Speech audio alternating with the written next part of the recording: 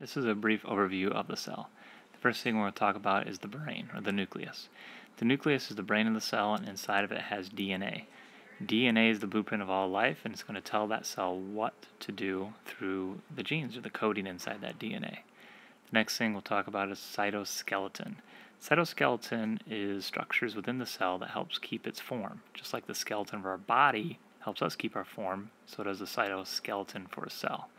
Next thing we'll talk about is microvilli. Microvilli are extensions on the outside of the cell, pl cell plasma membrane to help increase surface area. We have more surface area so we can do more work of moving things in and out. So you'll find microvilli in cells such uh, like the digestive tract.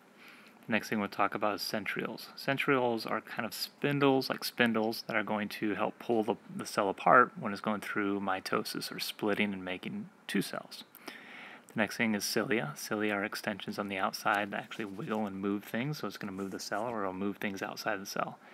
The next thing is ribosomes. Ribosomes are small little uh, organelles on the inside, and they help make protein. That's what they do.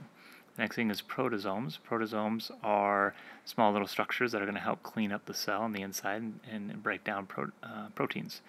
The next thing right next to the nucleus is going to be the ER, which is the endoplasmic reticulum, and you're going to have a smooth and a rough section. The rough ER is going to have ribosomes, and the smooth is not going to have ribosomes. The next thing is Golgi apparatus.